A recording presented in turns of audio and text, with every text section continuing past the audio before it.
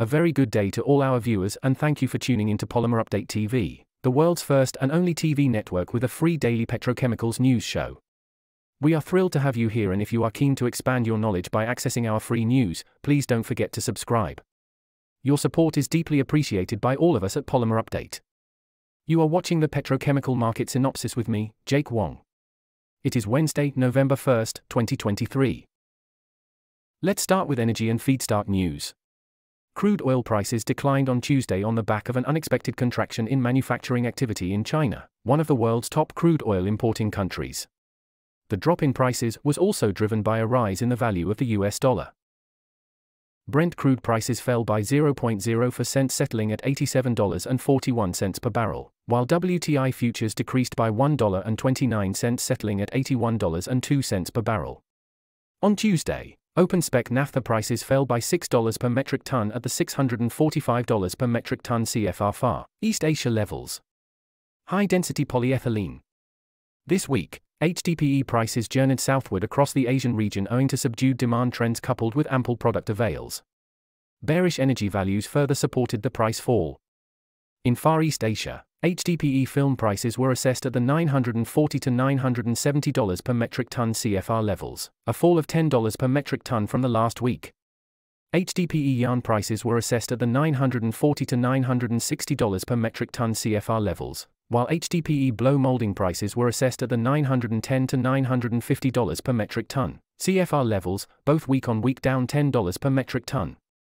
HDPE injection prices were assessed at the 900 to $930 per metric ton CFR levels, a decline of $10 per metric ton from previous week.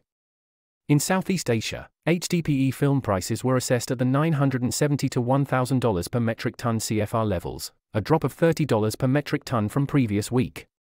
HDPE BM prices were assessed at the 950 to $980 per metric ton CFR levels, lower by $20 per metric ton from the previous week. HDPE injection prices were assessed at the 930 to $970 per metric ton CFR levels, while HDPE yarn prices were assessed at the 960 to $990 per metric ton CFR levels, both week on week down $20 per metric ton. In India, HDPE film prices were assessed at the 980 to $1,010 per metric ton CFR levels, while HDPE BM prices were assessed at the 980 to $1,010 per metric ton CFR levels, both week on week lower by $30 per metric ton.